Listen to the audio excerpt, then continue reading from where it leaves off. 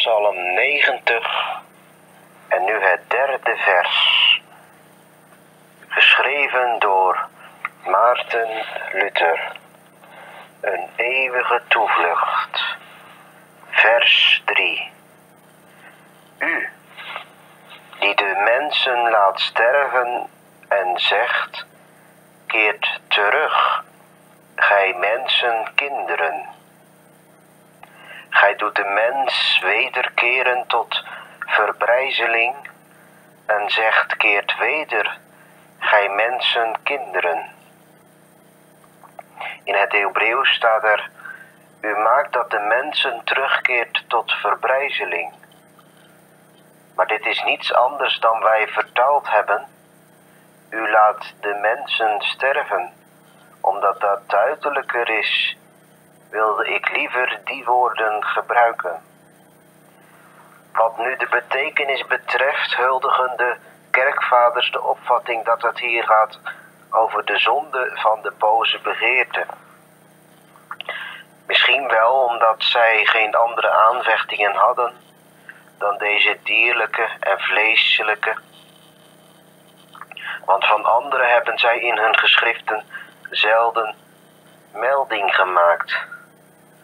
Daardoor komt het dat onze papisten, wanneer zij over de erfzonde spreken, daaronder niets anders verstaan dan de boze begeerte van het vlees. Maar aangezien die begeerte pas merkbaar begint te worden bij volwassenen, volgt daaruit dat de erfzonde iets veel ernstigers is, dat ook aanwezig is en leeft in jongere mensen, in kinderen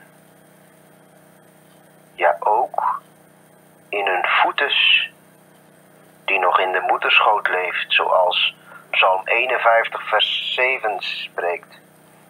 Maar omdat de geleerden over het algemeen bij vleeselijke overwegingen zijn blijven staan en niet in staat waren de schrift ook op de meer verborgen en geestelijke gebreken van de natuur toe te passen, zijn zij ook in de hoogste leerstukken van de schrift nalatig. We zullen ze hun eigen gang laten gaan. Wij echter willen de juiste en de eigenlijke betekenis volgen. De betekenis van deze tekst is deze. Mozes wil ons leren dat het door de zonde gekomen is dat de mens uit de genade gevallen is en de straf van de dood ondergaat. Hij zegt u laat de mens terugkeren tot verbrijzeling en brengt hem terug tot niets. Is dit niet een verschrikkelijke uitspraak en een buitengewoon zware toren dat de mens door de toren van God sterft? Is de mens niet een edel schepsel dat beter is dan alle levende wezens, nog aan de engelen, nog aan de duivelen onderworpen? Maar alleen aan de goddelijke majesteit. Ja, geschapen naar het beeld van God, opdat hij zou leven en heersen. Dit is werkelijk een veel zwaardere dood en een treurig geval dan wanneer een koe geslacht wordt. Vooral wanneer u de voortplanting van het kwaad in ogenschouw neemt. Mozes zegt, gij laat de mens terugkeren tot verbrijzeling. Dat wil zeggen dat het gehele menselijke geslacht want met het ene woord mens omvat hij alle nakomelingen van onze eerste ouders. Datgene wat dus voor het leven geschapen was, is nu voor de dood bestemd en wel door Gods toren. Zo is het hele menselijke geslacht uit de onsterfelijkheid aan de eeuwige dood ten prooi gevallen. Maar let op hoe voorzichtig Mozes spreekt wanneer hij deze toren louter en alleen aan de schepper toeschrijft, zodat niet Manicheus met zijn dwaze volgingen kan komen om er twee goden van te maken. Eén genadige en goede God en één boze, want hij zegt niet, de duivel brengt de mens terug tot niets, maar gij zelf, staat met hoofdletters, u, die er was voordat de hemel en de aarde bestonden. Want dat was de dwaze leer van Manicheus. En er bestaat geen twijfel over dat ook in onze tijd velen en dezelfde waan verkeren. Zijn beelden zich in dat alle goede van een goede God komt, maar al het kwade van een kwade God vandaan komt. Augustinus leefde bijna negen jaar in deze dwaling. Het is echter goddeloos om een nieuwe God te creëren en zo de toren van God te ontvluchten en te willen afwenden, die ons vanwege de zonde terecht is opgelegd, zoals soldaten die de dood openlijk minachten. Maar wat heb je tot stand gebracht door de dood zo hevig te minachten? Heb je daardoor dan de dood ook overwonnen? Daarom moeten we ons te binnen brengen dat hier niet geredeneerd wordt over de gedachten van Epicurus over het kwaad dat wij niet kunnen vermijden, getemperd kan worden. Hier wordt ons onderwezen dat wij goed en kwaad op de ene God moeten betrekken en leren hoe dat het kwaad overwonnen kan worden. Want dat is wat Mozes zich met name voorgenomen heeft om te doen. Daarom zei hij met opzet: Gij laat de mensen sterven. Dat wil zeggen, uw werk, ja, uw toorn is het dat het hele menselijke geslacht door de dood verslonden wordt. Mensen ontstaan niet toevallig, worden niet toevallig geboren, lijden niet toevallig en sterven niet toevallig. Want zelfs het vee sterft niet eens toevallig, maar omdat wij dat willen. Zie Genesis 1, vers 28. Want hun lotgevallen staan onder de heerschappij van de mens. Hoeveel te meer hebben dan de dood en het einde van de mens een duidelijke oorzaak. Zoals dat het leven verleend wordt door de vaste raad van God, zo is ook de dood het werk van de toren van God, waarmee hij dit schepsel tot verbrijzeling brengt en vanuit het leven in de dood stort. Zo voert Mozes dan deze werking uit op God zelf terug, opdat wij op zijn waarschuwing nergens andere hulp vandaan zullen halen dan alleen van Hem, die het kwaad berokkend heeft. Want Hij die ons geslagen heeft, zal ons ook genezen. Zie Hosea 6, vers 1.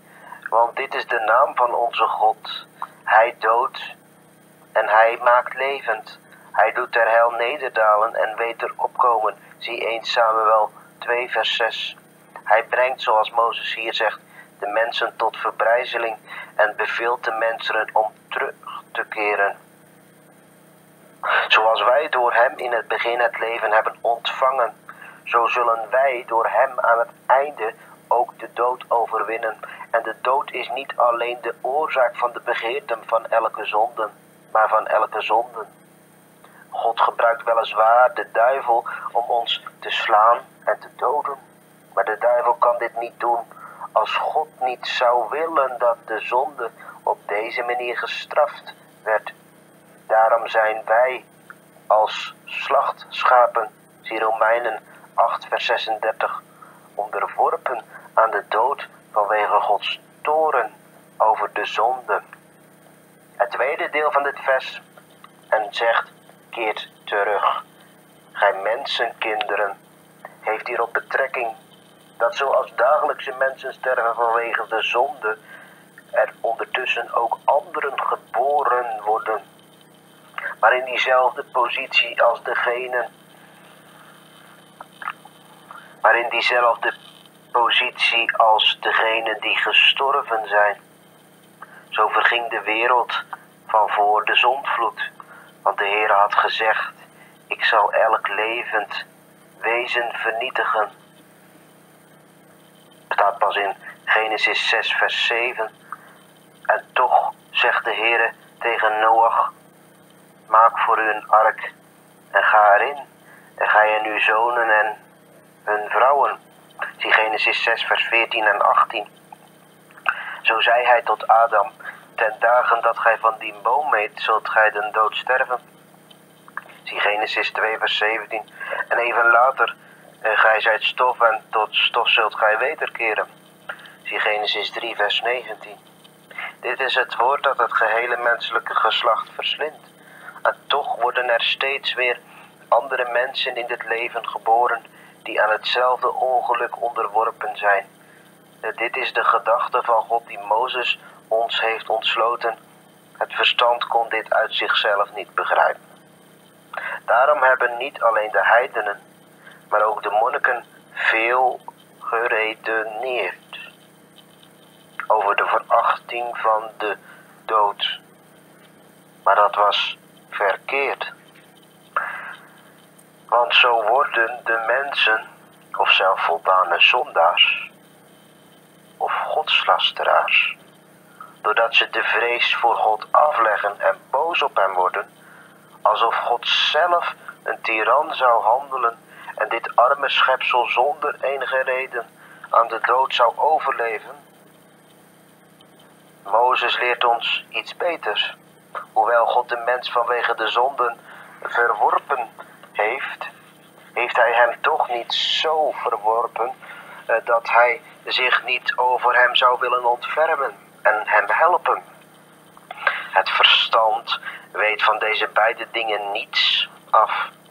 Ten eerste weet het niet dat de dood vanwege de zonde de mens is opgelegd door God.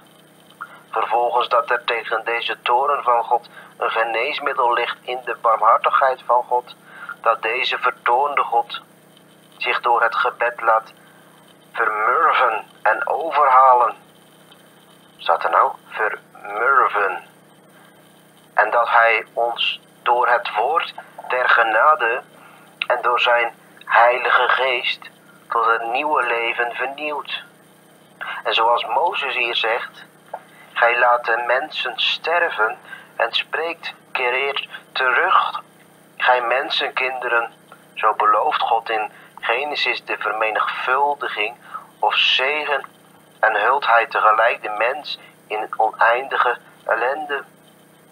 En wat God in Genesis zegt, wees vruchtbaar en vermenigvuldigd. Zie Genesis 1 vers 28, zegt Mozes hier ook. Gij laat de mensenkinderen terugkeren. Wat God daar zegt, stof zijt gij en tot stof zult gij keren. Zie Genesis 3 vers 19, zegt Mozes hier ook. Gij laat de mensen sterven, zo sticht en vernietigt. Hij in een korte zin het hele menselijke geslacht. Sommigen worden tot stof en vergaan. Anderen worden in dezelfde ellende geboren, totdat de verwachte dag van onze verlossing komt, waar wij werkelijk zullen leven. Zien we dat we pas verlost zijn als het lichaam des doods afleggen. Dan is een mens pas werkelijk verlost van de zonde. Want dan wordt niet alleen alle ellende van ons ongelukkige vlees weggenomen, maar zal ook de heerlijkheid van God aan zijn kinderen openbaar worden.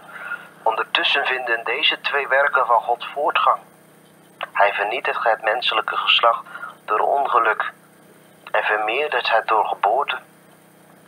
Hoewel dit leven echter vol ellendigheden is, ligt er toch een diepe troost in dat de dood voorop gaat en het leven volgt. Dit laat Mozes met opzet zien wanneer hij zegt: Gij laat de mensen sterven. Dat is het eerste. En vervolgens keert terug. Gij mensenkinderen, dat is het tweede, laatste en beste. Zo is het ellendig om arm te zijn. Maar wie zou om deze ellende treuren wanneer hij uiteindelijk rijk zou worden? Zie 1 Samuel 2 vers 7. Het is ellendig om honger te lijden. Maar des te meer genoegen genieten wij daarna van de maaltijd. Daarom wijst Mozes hier op een verborgen wijze op de hoop dat na de dood het leven zal volgen en de mensen niet ten onder zullen gaan zoals de andere levende wezens. Dat zij sterven gebeurt om hen te verootmoedigen en niet om hen de dood in te laten blijven. Deze hoop houdt hij voor aan degenen die in hun hart hevig verschrikt zijn door de overdenkingen van hun zonden en de toren van God. Maar aan het einde van dit gebed zal hij dit onderwijs over de overwinning van de dood en de toren van God duidelijk uiteenzetten. De lezer moet echter ook opmerkzaam gemaakt worden op Mozes' wijze van spreken, want Mozes hanteert de gewone wijze van spreken met een bijzondere bedoeling. Wanneer hij zegt, gij spreekt, keert terug, gij mensenkinderen, wat hij heeft in gedachten, wat in Genesis staat. God sprak daar, zij een firmament, een zon en een maan enzovoort. Genesis 1 vers 6 en 16. En evenzo laat ons mensen maken, zien Genesis 1 vers 26. Al deze dingen zijn door God geschapen en worden door het woord in stand gehouden. Hij doet dit echter ook om de grootheid aan te tonen van de persoon die met één woord alle dingen vernietigt en tot leven roept. Want kan er nietiger zijn dan een woord?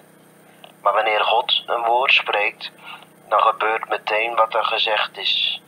God zegt tot mijn moeder, ontvang in uw schoot. En zij ontvangt. Tot mij zegt hij, word geboren. En ik word geboren. Vers 4. Want duizend jaren zijn voor uw aangezicht als de dag van gisteren, die voorbij ging, en als een nachtwaken. Want duizend jaren zijn in uw ogen als de dag van gisteren, als hij voorbij gegaan is, en als een nachtwaken. Hier richt Mozes onze blik van de menselijke dingen naar de Godheid zelf en vanuit de tijd in dat leven waarin er geen tijd meer bestaat. Dit dient echter net als een voorafgaande ook hiertoe om de grootheid van de persoon van God te laten zien wanneer hij over ons torent. Want stel dat iemand zo lang zou leven als Methusalem, die bijna duizend jaar oud geworden is, dan zouden wij kunnen denken dat zo'n mens er beter aan toe was dan de anderen en dat de toren van God hem niet zou treffen. Maar Mozes spreekt anders. Het is niet alleen de toren van God die de mensen bewaart, maar ook zijn haastige toren, dat wij al te snel sterven en niet getroost hebben door de dood, of het ongeluk uitgesteld kan worden of langzaam zal komen. Want wij hebben een kort en toch jammerlijk leven en sterven. Daarna een eeuwige dood. Want ook Methuselem leefde geen duizend jaar, maar wat zijn duizend jaren als het aangezicht van God zijn als de dag van gisteren? Wie heeft ooit de korte duur van het leven zo getekend? Mozes laat zien dat het niet een weg is, maar als het ware een krachtige worp, waardoor wij aan de dood worden prijsgegeven. Wij beelden ons in dat 70 jaar een lange tijd is. En nog altijd gaat het woord van Cicero op dat niemand zo oud is of hij hoopt nog weer een jaar te zullen leven. Deze hoop op een lang leven is alle mensen van nature ingeplant. Daardoor komt het dat de mensen al hun voornemens en hun plannen zo inrichten alsof zij het eeuwige leven hebben. En vanuit deze misvatting maken zij van hun leven een eeuwig leven, terwijl toch de dood overal in onze voetstappen treedt en altijd in onze buurt is. Zo toont ook Mozes ons dit allergrootste ongeluk. Dat de mensen hun ellende, namelijk de toren van God en de korte duur van hun leven, niet aanvoelen, terwijl zij die toch met hun eigen ogen zien en ervaren. Vandaag sterft hij, die gisteren de hoop had nog veertig jaar of langer te zullen leven. En wanneer hij die veertig jaar nog geleefd had, zou hij even goed de hoop op een langer leven niet hebben laten varen. Daarom vermaat Mozes ons om ons buiten de tijd te begeven en ons leven met de ogen van God te bekijken. Dan zullen wij zeggen dat het leven van de mens ook als een heel lang leven is, nauwelijks een uurtje duurt. Ik ben nu 51 jaar oud, spreekt Maarten Luther. Wanneer ik die hele periode goed overweeg, is die voorbij gegaan. Als was ik vandaag geboren. Want het was waar wat de filosofen zeggen. Het verleden is voorbij. De toekomst is nog niet aangebroken. Daarom hebben wij van alle tijden en alleen wat er heden is. Al het andere is er niet, omdat het of voorbij gegaan is, ook nog niet gekomen is. Op deze wijze stelt Mozes de toren van God groter voor dan alle menselijke veronderstellingen en meningen. Hij doet dit om een gebruikelijke formulering aan te houden, zodat intensief als extensief. Intensief, omdat hij de dood van de mens beschrijft als erger en zwaarder dan de dood van alle andere levens, de wezens. Hij is immers door de toren van God opgelegd. Vervolgens extensief, omdat het leven uiterst snel voorbij gaat. Deze hele beginperiode waarin de mens geschapen werd, zal Adam bij zijn opstanding voorkomen alsof hij slechts een uur geslapen had. De ogen ons vleeselijke lichaam zijn als die van de dieren. Deze zijn van het oordeel dat er veel meer is. Wanneer iemand een leeftijd van 100 jaar bereikt, maar voor God zijn duizend jaren als één dag. Van gisteren, waarvan niets over is. Dit had Job ook in het oog. Toen hij zei: De mens uit een vrouw geboren leeft een korte tijd en is vol onrust. Zie Job 14, vers 1.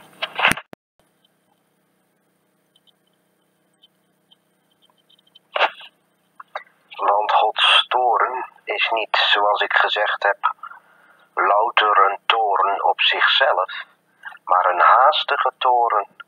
En ellende, en evenals de persoon van God oneindig is, zo zal ik ook de korte duur van het leven tot het uiterste begrenst. Wat de schrift elders zegt, één dag is voor de Heere als duizend jaar. Zie 2 Petrus 3, vers 8.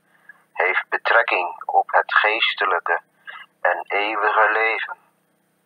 En wat de nachtwaken betreft die Mozes eraan toevoegt, daarvan is algemeen bekend dat volgens de gewoonte van de oude vaderen de nacht in vier waken werd verdeeld, zoals hij dus duizend jaren vergeleken heeft met de dag van gisteren. Zo vergelijkt hij het leven met een klein deel van de nacht, die wij slapend doorbrengen. Het is alsof hij wil zeggen, wanneer u de dagen van dit leven telt, zijn het voorbijgegane dagen. Telt u de nachten, dan is het slechts een vierde deel van een nacht. Op deze wijze maakt hij niet alleen de ellende groot, maar ook datgene klein was, het beste was, namelijk de terugkeer tot het leven. Het leven is weliswaar een goede schepping van God, maar omdat het zo kort is en door de dood wordt afgesneden, daarom klagen wij met recht over onze ellenden. Niet ongepast is het echter de mening die anderen volgen, namelijk dat de vergelijking met de nachtwaker daarop duidt dat zoals er bij een nachtwaker een wisseling plaatsvindt, er zou ook wisselingen zijn in dit leven. Wie vandaag geleefd heeft en als het ware op zijn post de wacht heeft gehouden, wordt door de dood weggeroepen en een ander volgt hem op. Want de wachtposten worden niet altijd door dezelfde soldaten bezet. Wie tot dit uur gewaakt heeft, treedt af en een ander treedt aan. Zo zegt hij sterven sommigen en worden anderen geboren die hen volgen. Zij het onder dezelfde omstandigheden als de vorigen, zodat ook zij, wanneer de tijd van de nachtwaken om is, verdwijnen